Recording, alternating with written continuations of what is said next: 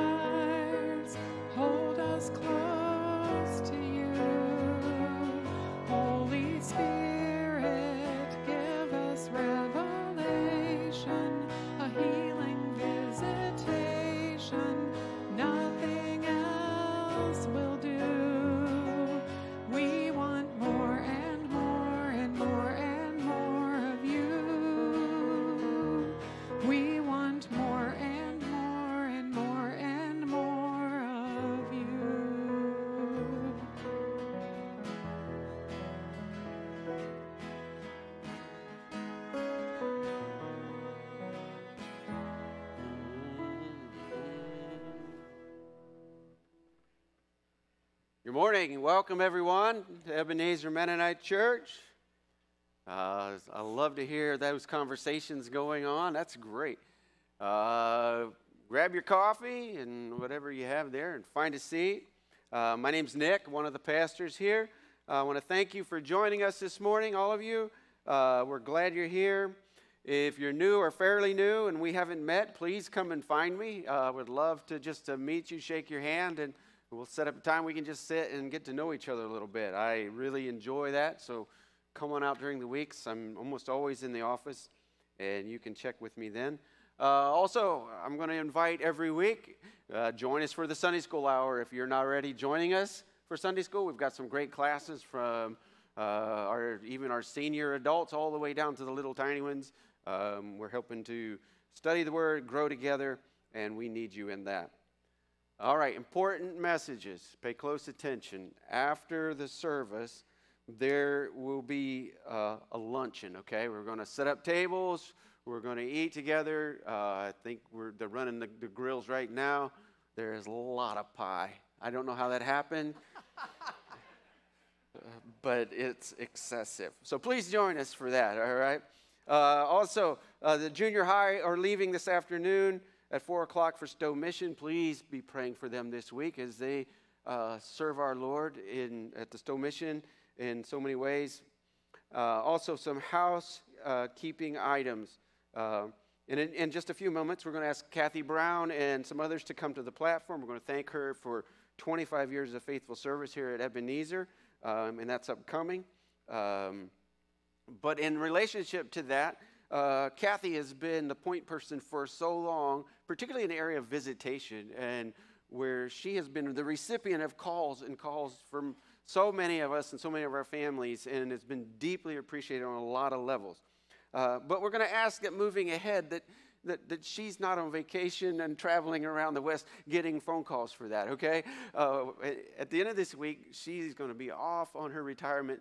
So please direct your calls to the office or to uh, Pastor Dick, uh, Pastor Glick, or Pastor Nick, okay?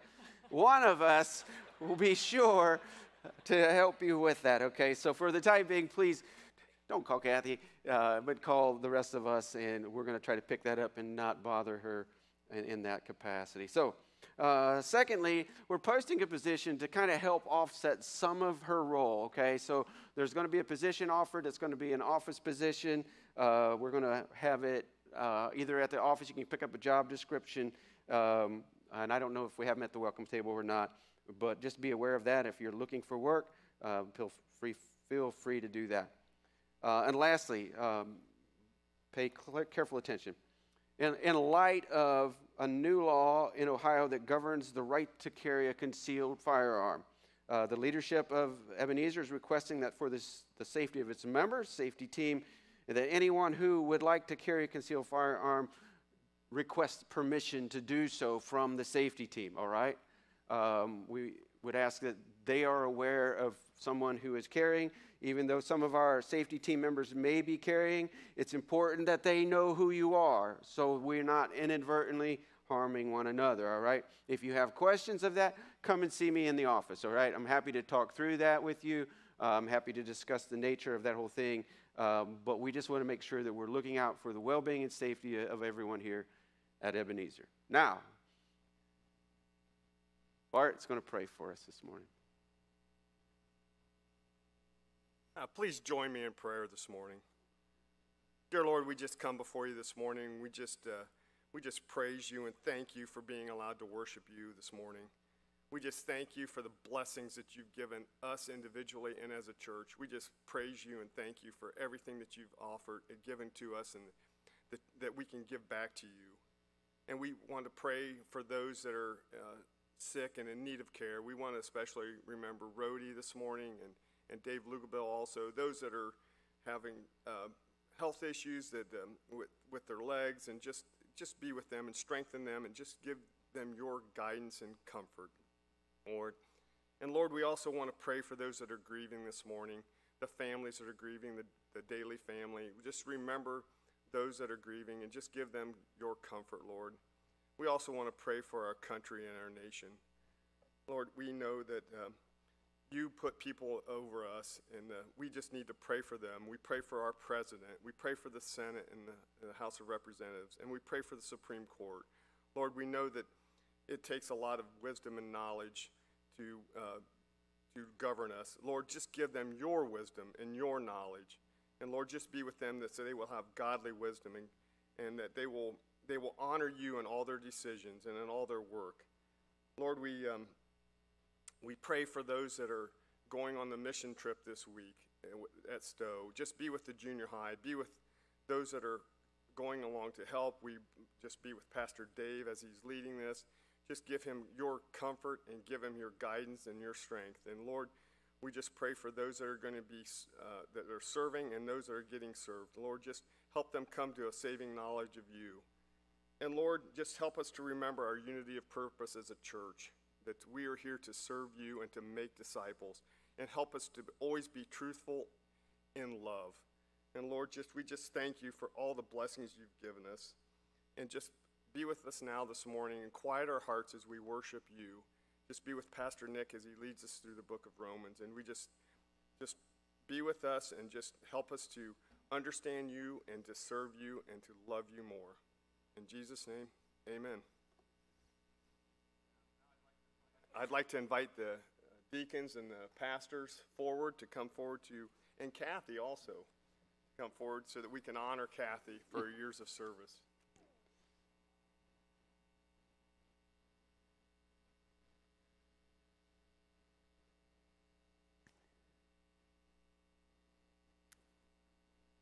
Oh, and also we um, brought this nice uh, bouquet of flowers up. It was not done by myself or Job, I don't think. but uh, to honor Kathy, um, very nice. So, Kathy, and um, we'll let Pastor Jim and uh, Pastor Dave say some words for us. I have two, two things I want to say. First, on behalf of Pastor uh, Ford, um, he sends uh, his greetings to you, Kathy, and just wants to say uh, his thanks for the, the vitalness of the ministry you provided for him and this church for so many years. Um, they're on uh, vacation at the Cove, at Billy Graham's Cove this week, so we wanted to, they were sad they missed it. But personally, um, it's just a blessing to have uh, someone that you can um, work with that has high integrity, um, loves the Lord, and I would say personally a surrogate mother. Um, you know, some of you guys know that, that my mom's not here, and Kathy is just someone that has guided me and directed me, we will miss you. I don't think Nick wants to wear that hat, so, um, but we will, we will miss you, Kathy. And uh, I also want to thank you for your uh, 25 years of service, uh, which half was, uh, yeah, which uh, I had the privilege of serving with you half, half of that time. And uh, when I think about uh, your role here at the church, I think of the, the passage from Romans chapter 12, which we as a church looked at last week with Pastor Nick, is that, you know, it begins there in the first verse that we dedicate ourselves to the Lord. And then as we dedicate ourselves as a living sacrifice, He transforms us through the renewing of our mind.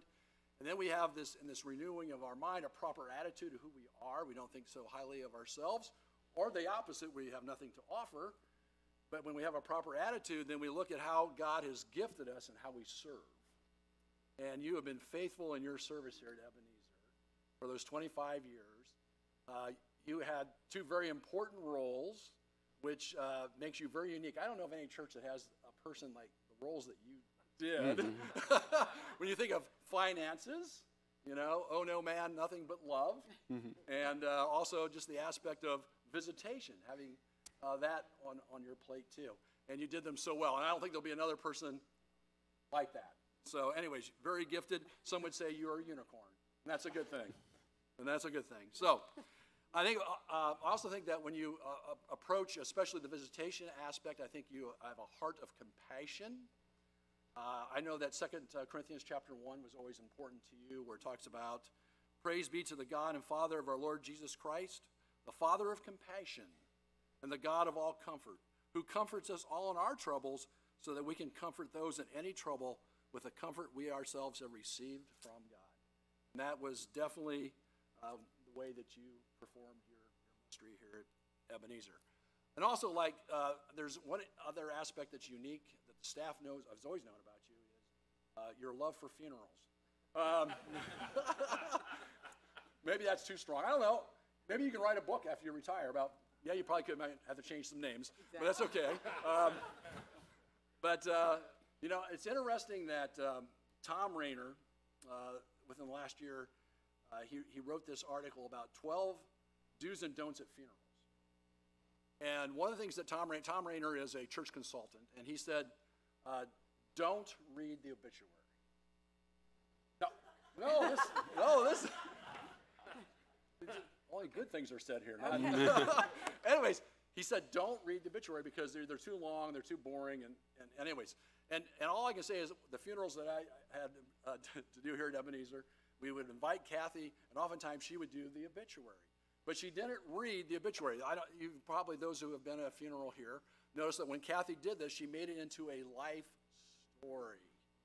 And you were so good at that. You were so good at that. So, any, anyways, um, don't read the obituary, but you make a life story, which you did. You were you were ahead of Thom Rainer and, the, in what in what he said. So that's something good. So, anyways, with that, Friday, July first is your last official day here at Ebenezer, and so may the Lord bless you and Dave as you start this new adventure together uh, in life.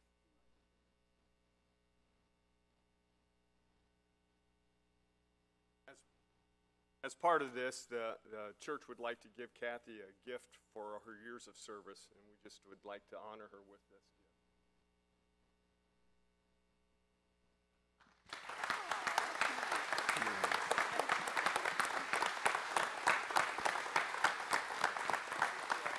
Before you go, uh, before you go, um, it's a it's a gift to Amish country, and, and their last attempt at Amish country was. Um, ask her this story. It, it was um, weather related, I believe. So anyway, quite a great story. But let me pray um, as we congratulate you on your upcoming retirement. Again, you are like a unicorn, no question about that.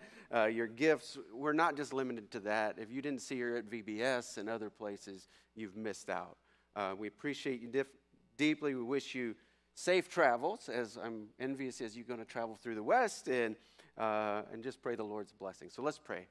Father, we, we give you thanks today for Kathy, for her service, for uh, her finding uh, just the niche that uh, worked with her so well, and as she uh, just joyfully served everyone here at Ebenezer. I just thank you for that. I thank you for her enthusiasm and heart for the work, and I just uh, pray that you would bless her and Dave as they go out and, and do some traveling and enjoy uh, retirement years. I pray you'd bless them and pray you'd bless their family and that you would grant them uh, just a pleasurable time, that you would uh, grant them health and strength for many years to come. And we thank you and praise you uh, for that goodness. In Christ's name we pray. Amen. Thank you, Kat. I want one of those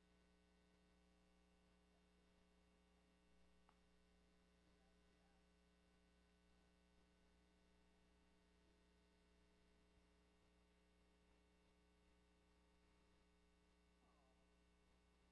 Yeah. Blessings on you, dear girl. What a joy when you have a church family that feels like family.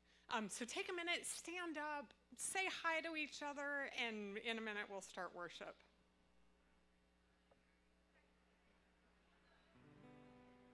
Good morning, sweet friend.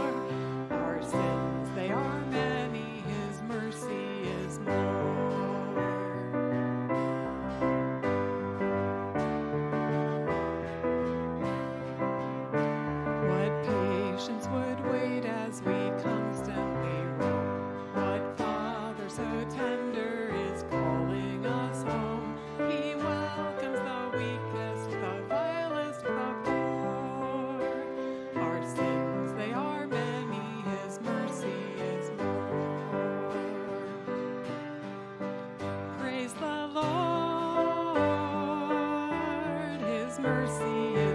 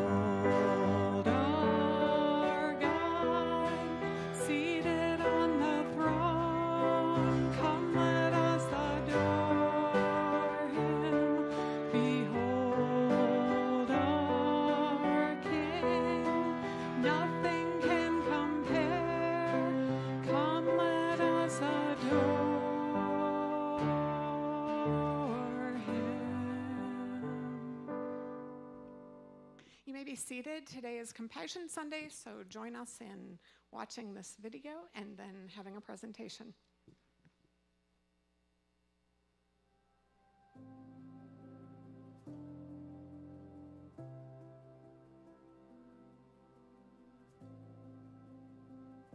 My name is Nora Birangi. I'm from Uganda. We are Jeff and Bonnie Mowry. Nora was 10, I was 20 years old, and we sponsored her all the way completely through her program. They used to write to me letters like almost every month. They always told me that they loved me, I was so special, and I was gonna make it. Three things never missed their letters. Uh, we, we did something so little. We felt like it was just so little. Jeff and I started realizing is we're looking at the small portion that we did and not looking at the magnification that God did. And that is through all of the compassion team. At the Compassion Project, I always looked forward to going there because there was always good food. We could have chicken, eggs, milk, rice. So the monthly sponsorship empowers the compassion team to provide the food, the medical care, the education care, but also the spiritual care with the programs that bring these kids in and teach them about Jesus. The praise and worship there was just the best time for me. We used to dance and you know, and all, all the time I could go back home and still do the same things with my mom and my other siblings. To think that you're just changing a child's life is too small of an understanding of what's going on. It's not just changing a child, it's changing the family, it's changing the community, it's changing the culture. The degree to which God multiplies everything that's given through all the people in compassion is phenomenal. When we were told we had the chance to meet Nora, I, I was almost speechless, and it was just like, how could we not? Of course, we want to meet her. I would like to say thank you, thank you so much to my sponsor, Jeff and Bonnie Mowry. I hope I see you one day. I love you so much, wherever you are. How about today? No. Yes.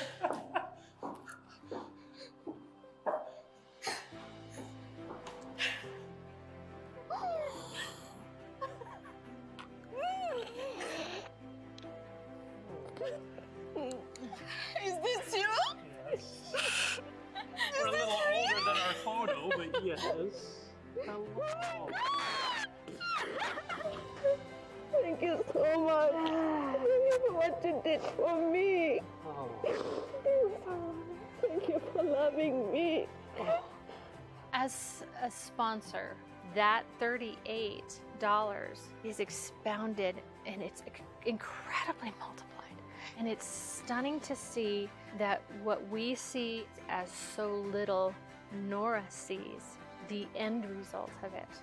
To realize that you have even your small role to play because that small role doesn't stop with you. It continues on and it, it lights a candle that lights another candle that lights another candle and it becomes exponential. And that's in the hands of our God.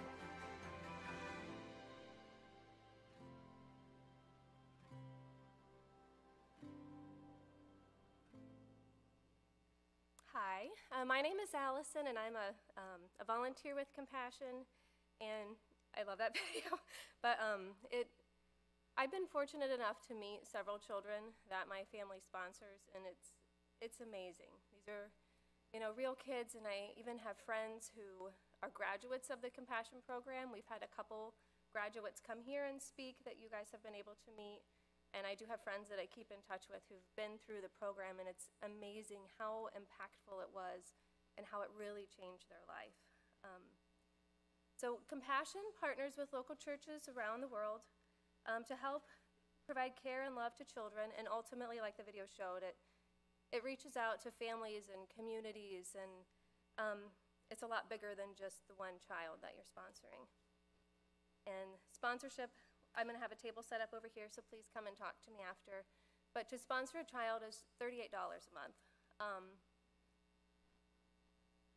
and it's incredible, incredible to see how that money can be expanded into so much. It just is multiplied. Compassion links one child to one sponsor. So you would be that child's only sponsor. And the precious faces on these packets, so these are kids who've been waiting to find out that they're going to have a sponsor. I have a lot here that have been waiting for almost a year or even over a year. This little boy, Junior, has been waiting over 400 days to find out he has a sponsor. Um, yeah, I just ask that you guys will come talk to me after and ask questions, look at these faces and thank you.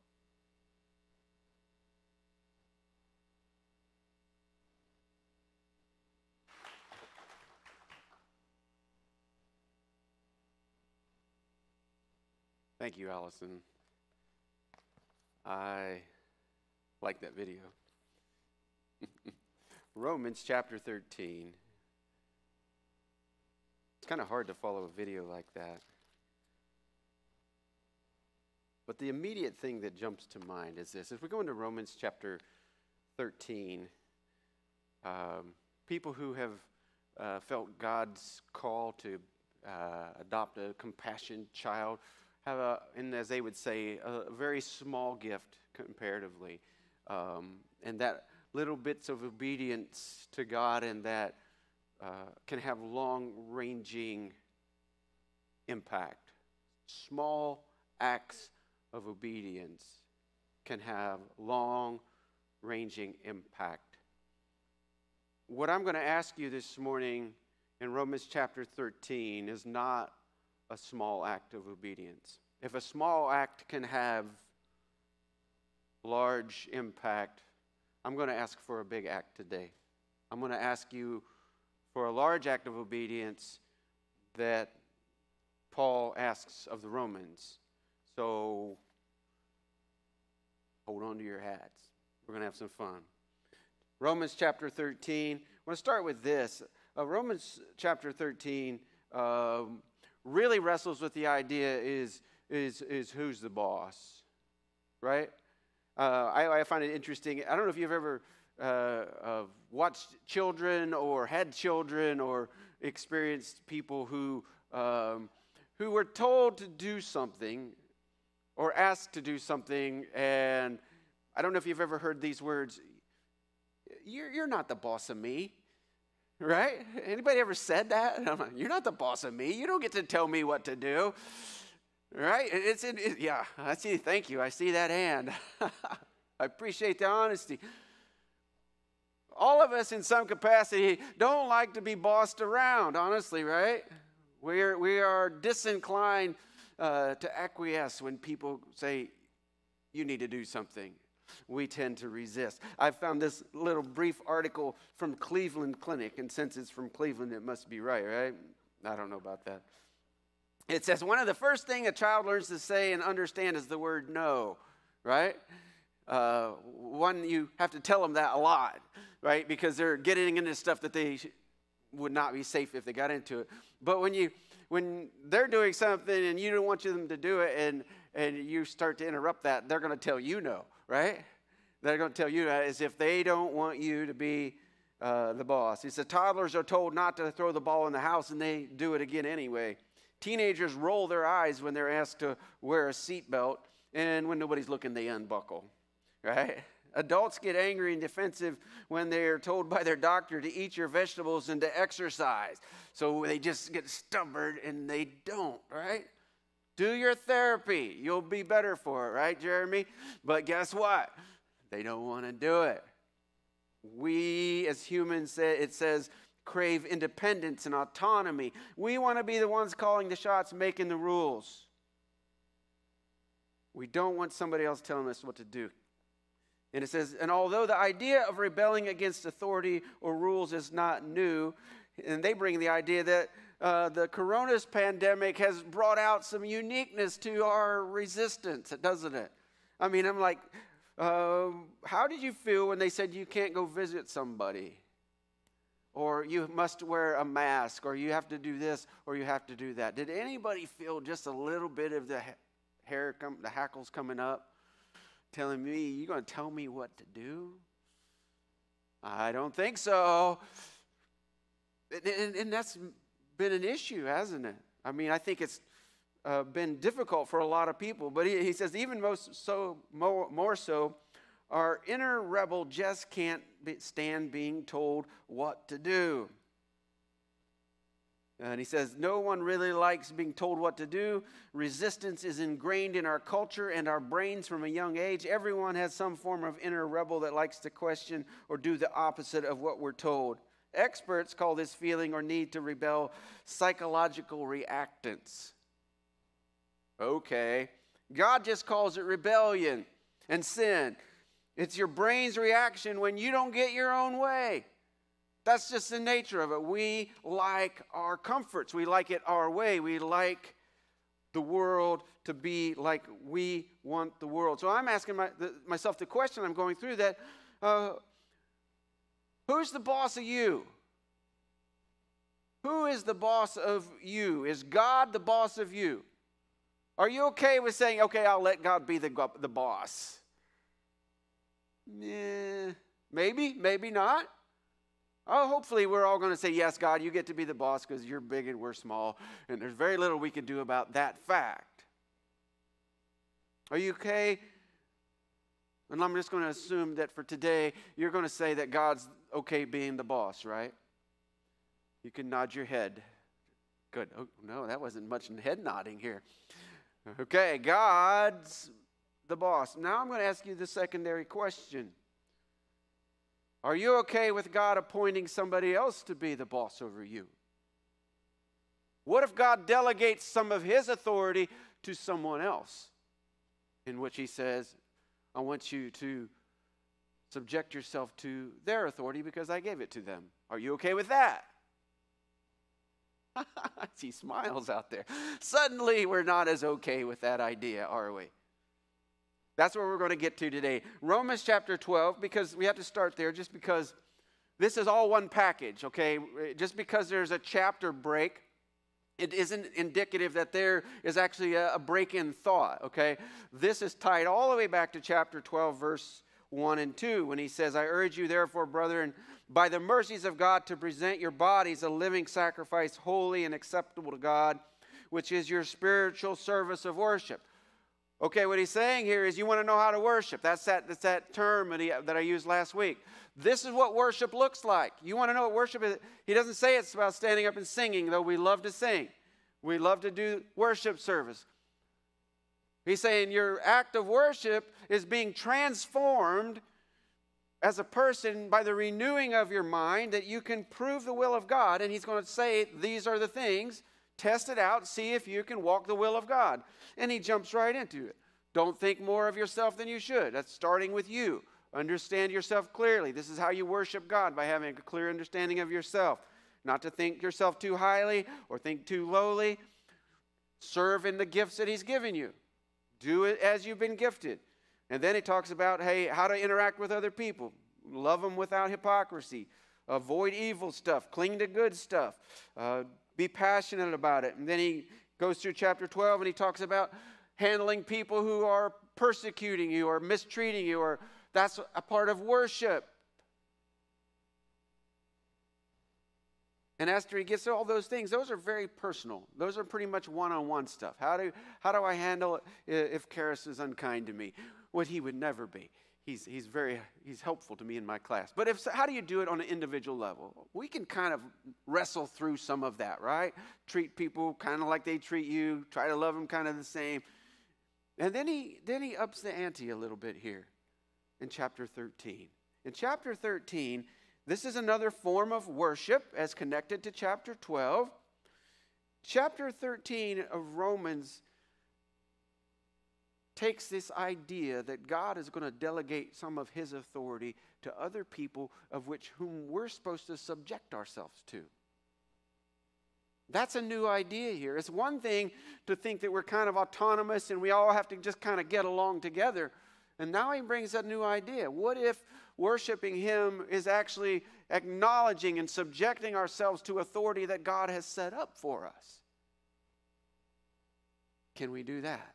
Are we willing to worship God in light of that? Allow me to read Romans chapter 13. I'm going to read it clear through. There's just 14 short verses, and then we'll unpack it a little bit.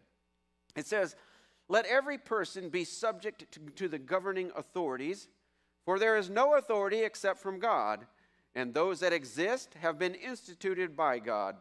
Therefore, whoever resists the authorities resists what God has appointed, and those who resist will incur judgment. For rulers are not a rule, not a terror to good conduct, but to bad. Would you have no fear of the one who is in authority? Then do what is good, and you will receive his approval, for he is God's servant for your good. But if you do wrong, be afraid, for he does not bear the sword in vain. For he is the servant of God, an avenger who carries out God's wrath on the wrongdoer. Therefore, one must be in subjection, not only to avoid God's wrath, but also for sake of conscience. For because of this, you also pay taxes, for the authorities are ministers of God, attending to this very thing. Pay to, pay to all what is owed to them, taxes to whom taxes are owed, revenue to whom revenue is owed, respect to whom respect is owed, honor to whom honor is owed. Owe no one anything except to love each other. For the one who loves another has fulfilled the law. For the commandments, you shall not commit adultery, you shall not murder, you shall not steal, you shall not covet, and any other commandment are summed up in this word You shall love your neighbor as yourself. Love does no wrong to a neighbor, therefore, fulfilling is the fulfilling of the law. Besides this, you know the time. You know that the hour has come for you to wake from sleep, for salvation is nearer to us now than when we first believed. The night is far gone, the day is at hand. So then, let us cast off the works of darkness and put on the armor of light. Let us walk properly as in the daytime, not in orgies, drunkenness, sexual morality, sensuality, not in quarreling and jealousy but put on the Lord Jesus Christ and make no provision for the flesh to gratify its desires. Interesting, when he gets to this thing, he's just making some really direct statements. Verse 1, let's look at that real quickly. Let every person be subject to the governing authorities. Let every person. He's not saying, okay, just let, you know, people who are, you know, depends on which side of the aisle they're standing on, we'll subject ourselves to the governing authorities that stand on my side of the aisle. He's not given that kind of flexibility. He's saying, let every person be subject to, has the idea of being under the authority of. Be subject to that. It's not rocket science, folks. It's just an exercise of our intent and will to worship. You realize that, right? This is connected to our worship. You want to test whether you are in the will of God and that you are willing to worship God, then it's going to be dependent on whether you are willing to follow very direct instructions. Let every person be subject, be placed under to the governing authorities. Four, circle that four. This is a causative statement here. There's a purpose. Why would you do that? For the answer is there is no authority except from God. Authorities around the world, all over the world, are God's. It doesn't exist unless God made it exist. And it says, and those that exist have been instituted by him. That means he set them up. Can God set up authorities that are a pain in the neck? Well, yeah. That's pretty much how all authorities go eventually, right? They're difficult because they're expecting something that we don't want to give. We want to do it our way. And he's like, they're all there because God set them up. If you got your finger in your Bible there, I'm going to roll over to John 19. It's a really interesting statement here in John that the Lord Jesus is like, I mean, he's been uh, dragged around the courts. He's getting ready to be put to death at the cross, right? And he is standing before the authority of the day. John 19, verse 10, talking to Pilate. Pontius Pilate um, says, Pilate therefore said to him, Do you not speak to me? Do you not know that I have authority to release you? I have authority to crucify you. He's the big boss. Don't you realize I'm the big boss? He's saying. I can turn you loose, I can have you killed. And Jesus makes this statement, and I find it interesting. I don't think it was said with uh, a, a, a neener attitude, right? I think he just said, Jesus answered, You would have no authority over me unless it had been given you from above. For this reason, he who delivered me up to you has a greater sin. He's just saying, the authority that you have has been granted by my Father. Yes, you have authority, but you wouldn't have it had he not granted it to you. So Jesus himself was acknowledging the authority. He acknowledges that God set it up. Proverbs 21 1 is just another one that, even back in those days, it was saying something down that very line. Can God do that? Proverbs 21 1. The king's heart is like a channel of water in the hand of the Lord. God is not separate from authority. God can do with it as he chooses. He has for, for millennia. Now, as we get into this and we start coming face to face with this idea of subjecting ourselves to governing authorities, uh, we're, we're, plagued with some issues. Um, what happens if I don't? That's usually what happens to kids. You know, they're going to see, don't, don't go across this line, right? And what's the test? See what happens, right? Lightning didn't fall, thunder didn't roll. Don't do it again right? That's how we live. That's how kids live, right? And so he's, he's actually uh, addressing that very thing. Therefore, whoever resists, knowing that when we say subject yourself, our first thought is resistance, right? I want you to do something, and their first thought is no. What are you going to do about it? Can you stop me? Isn't that how we roll a little bit? He says, Therefore, whoever resists authorities resists what God has appointed. The offense is not directly against the authority. Its resistance is against God, and this is really hard to get our head around. If God establishes an authority and we resist that authority, are we not resisting God's design? Well, what if they're really bad? Or what if they're stupid? Or what if they spend my tax money badly? I certainly wouldn't have to follow it then, would I? God certainly dropped the ball on this authority, right? No. It says that those who resist authorities resist what God has appointed, and those who resist will incur judgment. That means God is not letting you off the hook. And I'm like, well, my resistance is, you know, is kind of passive aggressive. You guys get that, right? You, I mean, I mean, you guys wouldn't get that, but I'll, let me tell you what passive aggressive looks like, right? I, I can resist inside. You ever been driving down the highway and you're really getting somewhere in a hurry and you, you see people slowing down, right? And you know that there's a trooper sitting right out in that thing down towards Lima.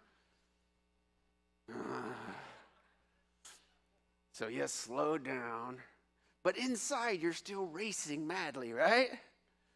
You might get me to slow down on the outside, but I'm speeding on the inside, right? Isn't that kind of how kids work, right? You can maybe compel them to do what you want them to do, but how is the heart behind that? Those who resist will incur judgment. And I thought, you know what? We might be thinking of revolution. We might be thinking of insurrection. We might be thinking of shaking a fist directly in the face, and I will not. What if it's not like that? What if it's more like this? Genesis, Exodus, Exodus chapter 16. See if you remember this. Exodus 16. They're out in the desert. And they set out from Elim, and all the congregation of the sons of Israel came to the wilderness of Sin, which is between Elim and Sinai, on the 15th day of the second month of their departure from the land. And the whole congregation of the sons of Israel grumbled against Moses and Aaron. They complained not against God, but against the authorities that God has established.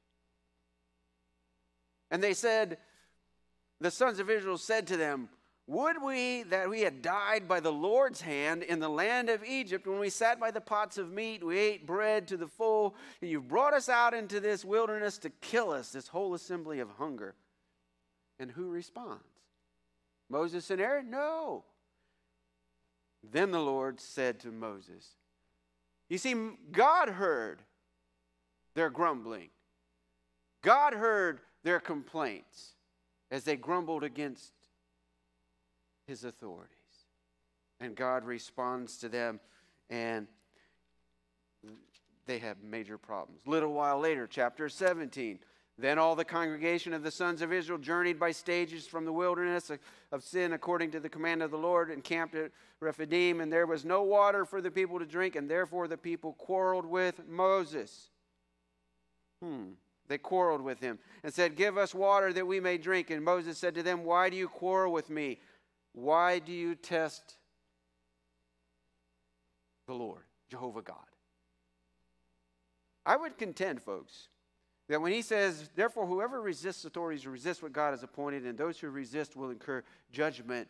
I think our biggest resistance are on this whining, complaining, griping attitudes that we share all the time in the name of whatever political, whatever position we're in. I believe it goes directly to the ears of God. But, well, well, some of these leaders are just bad people. To the ears of God. Now, as I was going through this, I find that he's going to get into some other stuff here. But here's what I find I find that the most commentaries, I started looking up this, what do other people say about this? Because this like is really a sharp stick in the eye, you know? And so it's like, what do the other commentators say about this? Well, I found that most commentators are looking for about a thousand ways to get around it. You, you have to obey the authorities if and if, and, but not in. And they're like, wait a second here. What if God intended us just to say, your worship means to subject yourself to those authorities? as unto me. If we can't subject ourselves to the authorities that God has established, are we really subjecting ourselves to the divine, if you will, org chart? God's at the top, no question. Are we just rejecting Him outright by our complaining? He goes on to say this for rulers are not a terror to good conduct, but to bad. So, this is given our first little window of how do we live in this tension of people who are authority who are telling us how to behave ourselves. Good conduct. Good conduct makes a big difference in a world, even when you've got incompetent or wicked rulers. It works. For you would have no fear of the one who is in authority, then do what is good, and you will receive his approval. You know, this works. I'll give you a really practical example. I was living, working in Milwaukee, all right? And we had a prisoner reentry program.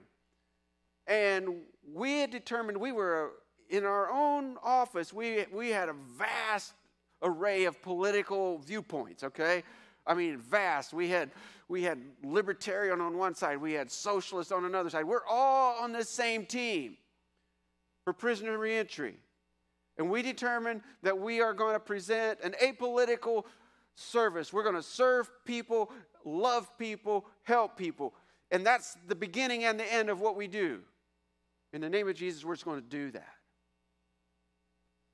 And we showed up every day and we did that. And we did that and we did that. And the phone calls started coming in from Madison, that's like the capital, from the director of corrections. How are you doing this? People aren't going back to prison. How are you doing this? We love and help people. That's all we're going to talk about. Well, next thing you know, I'm getting calls from the U.S. attorney, from the, the district up there. How are you doing this? Great job. How can we help you do this better? I'm getting called from the prisons. How are you doing this?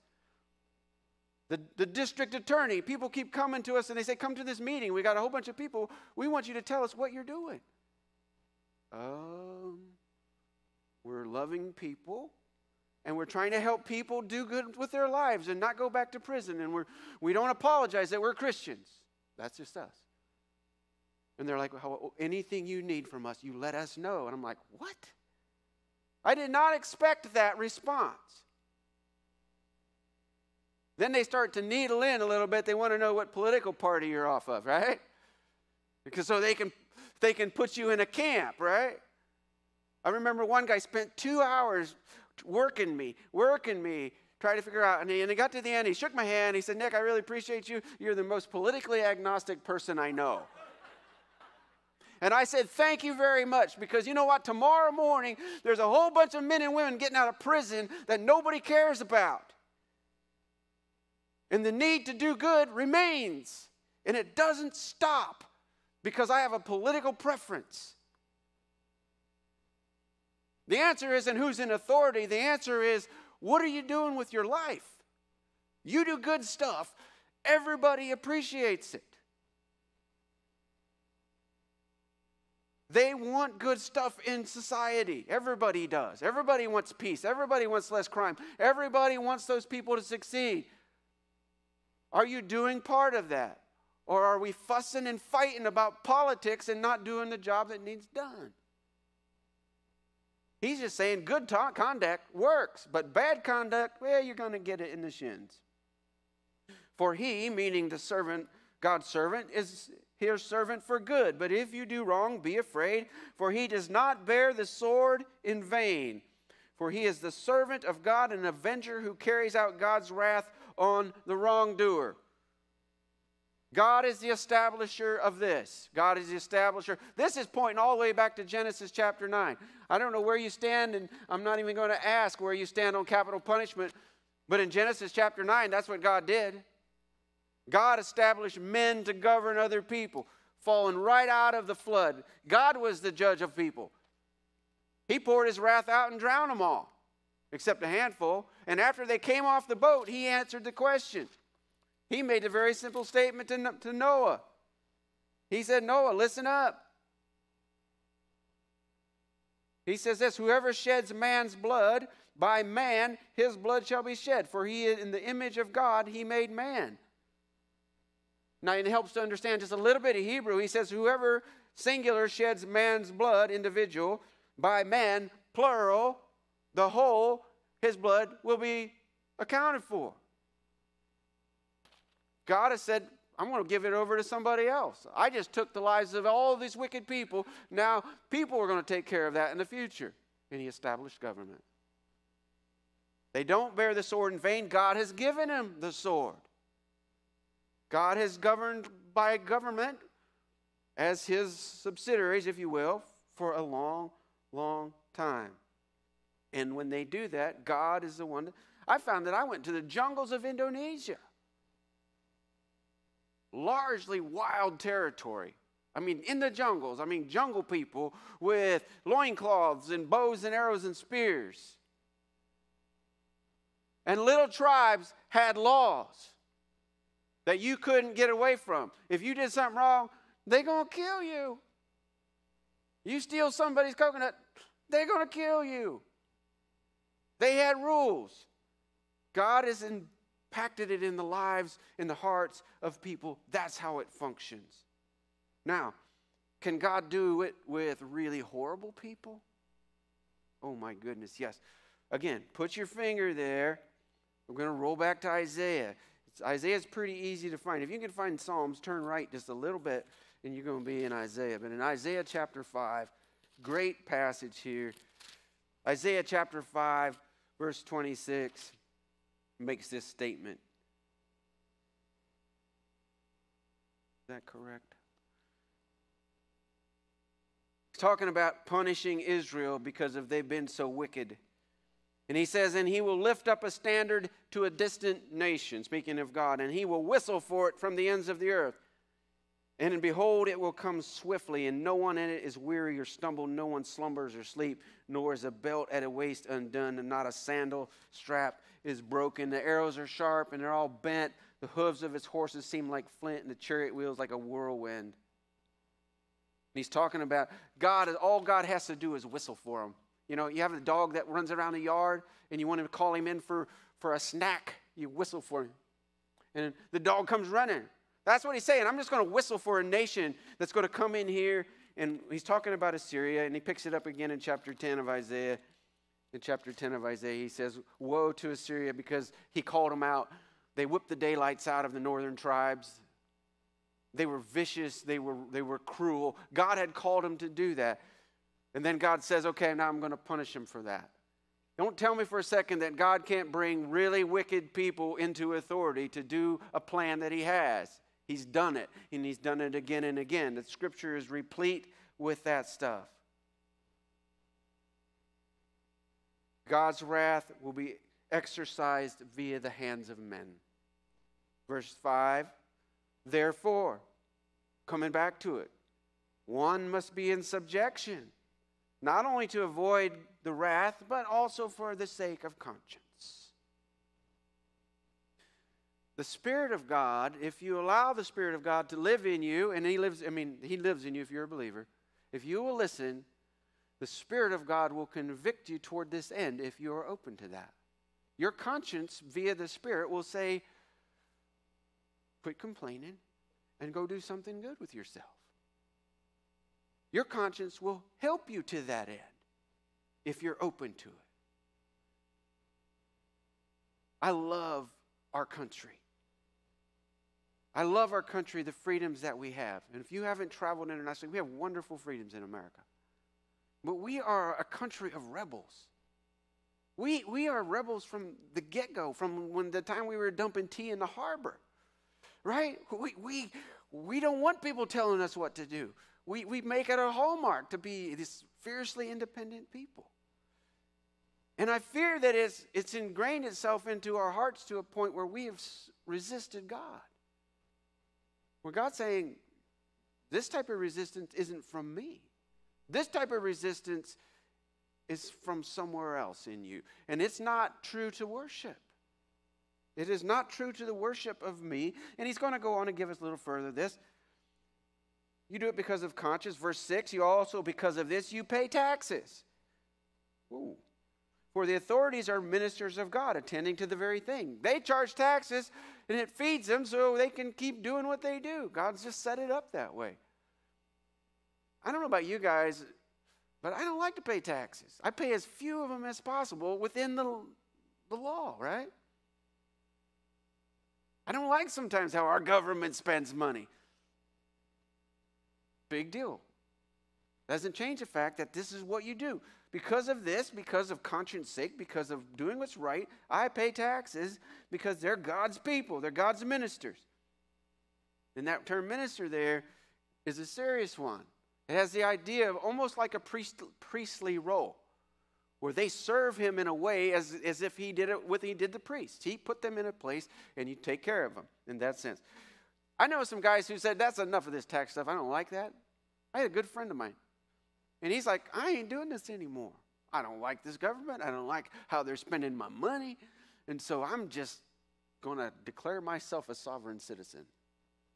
I'm like, what? I don't even know what you're talking about, you know. So he gave me a 14-hour description of it.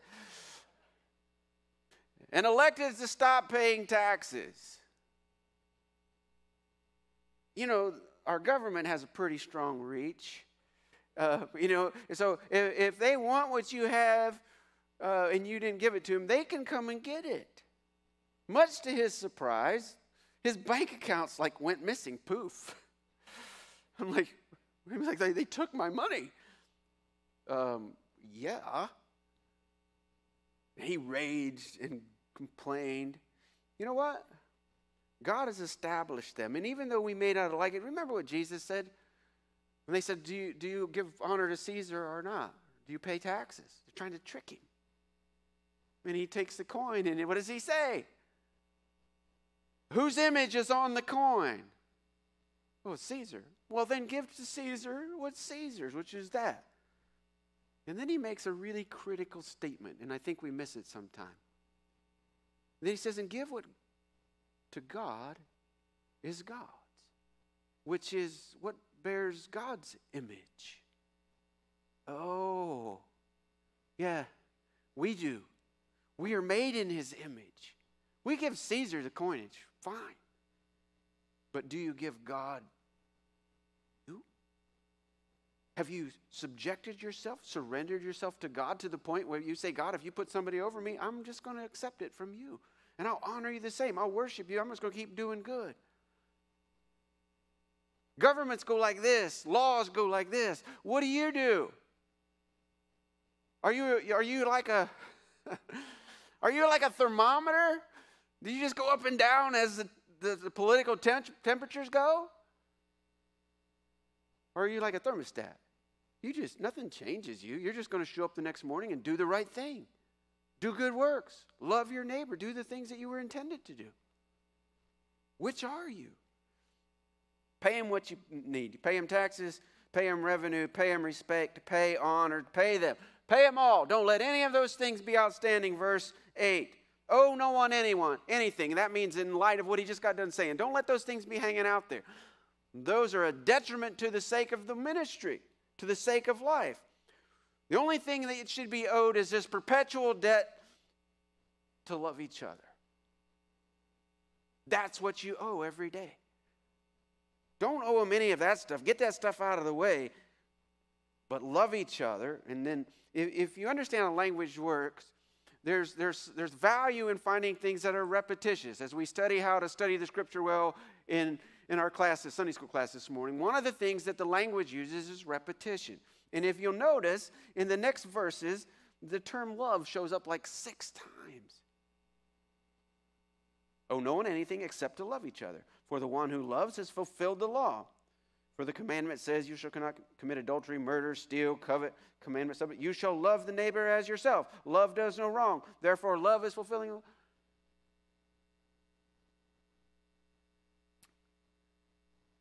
I've heard a lot of political wrangling in the last few years.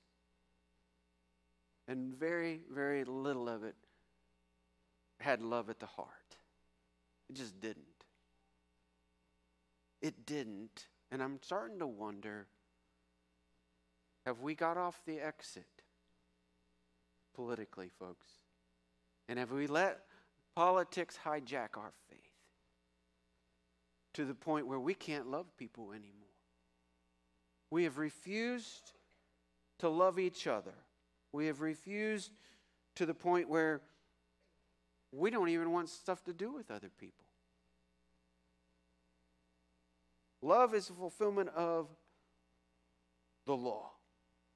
Divine worship is shown up by how we love. And he closes out with one thing here, and I think it's interesting. Verse 11, he says, Besides all of this, besides all of this, you know the time. Yeah, it's about 11:21. That means my time is about up. Besides all this, you know what time it is. And we're like, we do? The hour has come from you to wake from sleep. Salvation is nearer now than when we first believed. The idea there is not salvation to get saved and come into a right relationship. The idea here is the fact that your deliverance, you're going to be snatched out of here one of these days quick. That is close. That is close. Don't you know that it's time to wake up? I don't know if you guys ever, when it was time for vacation, when I was a kid, I mean, it's like you can't sleep the night before, right? And it's like 3:30 in the morning. I'm out of bed and I'm dressed. I'm sitting on the bed waiting for mom and dad to get up so we can go right. I'm go fishing. Do you know what time it is, believer? Do you live as if you know what time it is? He says it's time to wake up because Jesus is coming back. The night is far gone and the day is at hand. So then let us cast off the works of darkness. He, he takes the metaphor of, of get these filthy clothes of this old life away from us, this, this, this wrangling and bitterness and complaining and grumbling that we, that we put out all the time with, with those who are in. Get rid of that stuff. Years ago, I was back on the pig farm. I'll tell this story very briefly. And we happened to have a large confinement operation. And on this given day, one of my big old sows found her way down into a liquid manure pit. She had to get out, right? Somebody had to go down there and get her out. Yeah. So uh, down I went, wrapped a big old rope, it was gross, around her, and we got her out of there, right? Can't tell you how quickly I wanted to get those old clothes off. It takes about five, six showers before the stink that goes with it gets off. He's saying, let's get rid of that old stuff. Let's get rid of that stinky old behavior that says we are going to wrangle and fight, come whatever, particularly when it surrounds the idea of authorities. Get rid of that stuff. That stinks. It goes around, and everybody around it stinks too. Oh, you can find some other people that stink the same way you do, and you don't notice after a while. But guess what, folks? Get rid of that stuff. Wouldn't you rather be sweet smelling to everyone? Wouldn't you rather have people from every political party rejoicing that you are doing good works for somebody? They're glad you're here in their community. They're, they're happy to have you. Get rid of that stuff and put on, dress in, he's, he's keeping that metaphor, the armor of light, which is really a, a kind of a, a shift. Because normally it's the other side that's fighting, right? He's saying, put on the armor of light because it's a fight to do the right thing, to keep your heart right before God, to not be complaining all the time, to not be fighting against the authorities that God has placed there. Put on the armor of light. Get rid of that sticky stuff. Let us walk properly as in the daytime not in orgies or drunkenness and sexual immorality or sensuality, not quarreling and jealousy. Let's walk proper, properly. Let's not do those old things. Big contrastive but. But put on, dress in the Lord Jesus Christ. Put on Jesus Christ. I've had it people wear their the number jersey of their favorite sports person, right? They want to emulate that person. They're out playing basketball in their sports jersey, right? With their, they're, and they're counting it down. You know how it is. We, we want to be like them. He's saying, put on, dress in, act like the Lord Jesus Christ. And how did he handle politics? How did he handle authorities? He just did good stuff. He didn't let that get in his way. He served and loved people all the time to the point where they put him on a cross. And he could have, by his own authority, usurped it. And he trusted God with that. And then it makes this last term, you need to catch this make no provisions for the flesh. That term provision is this planning and preparation. That's kind of how we do it. We plan to take care of our own flesh, don't we? In fact, we go to great details about taking care of our own flesh. Anybody here like shopping for clothes? Oh, ladies are smiling there for a second. A bunch of guys are like, Ugh. we make preparations so we can do stuff that we really want to take care of ourselves. He's saying, don't make any preparations. Don't, don't set up, don't work about providing that. Make plans and preparations for doing good. That's what I'm, I'm going to leave you with. These the ideas. Number one, check your authorities. Who are your bosses? If you're at a job, you want to know who your boss is, right? And you want to take care of your boss. You do what they ask. That's just the thing. Check your bosses. Identify that who God has placed in authority and say, God, I want to worship you by how I respond to the authorities you've placed over me. I want to worship you. Secondary, do good. Find some place to intentionally be doing good so everybody's going to know what's up with this person. They just keep helping and serving and doing good things. I love them. I wish I had a, a thousand of them in my community to do that sort of thing. So nobody, they wouldn't have any complaints against you. And then lastly, be actively ready and preparing for a new government because Jesus is coming back. Get yourself ready. Anticipate his coming. I have a sense that he's going to come back and we're all going to be fighting about stuff that he's like, what's the deal here, guys? Didn't I tell you I'm coming back? And you guys like not even ready. You're not even expecting me. Set your life up. Provide. Plan as if that's happening today. If not today, tomorrow. And I think we are going to worship him in a new way. Let's pray. Father, I thank you for this passage. It kind of uh, it's hard for me at times to accept the fact that you've placed people in authority over me in our government that I would not always agree with. Help me to worship you. Help us to worship you in a way that's pleasing, in a way that accepts authority as from your hand. Help us to keep our eyes and hearts fixed on you, prepared for your coming, serving, loving our neighbors, doing good at every turn, uh, that we would be uh, pleasing to you in all that we do. We petition your closeness. Be with us, Lord. We need you. In Jesus' name, amen. Please stand and join me. What a great phrase he uses there at the end that we need you. Um, how thankful we can be that he doesn't ask us to do this in our own strength and, and on our own, but that we can lean on him, that as we need him, he'll fill us with his spirit and empower us to do just what Nick talked about.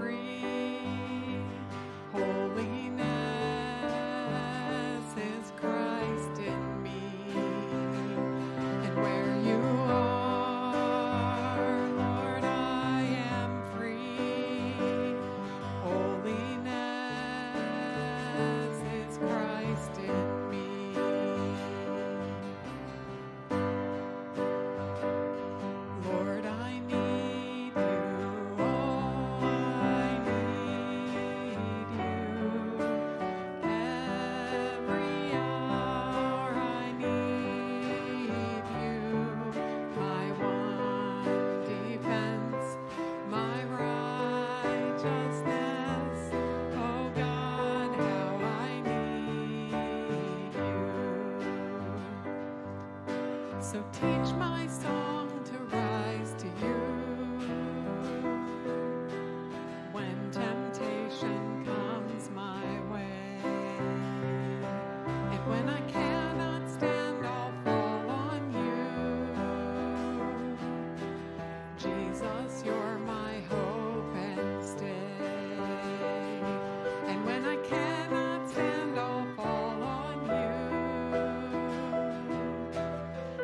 Jesus, you're my hope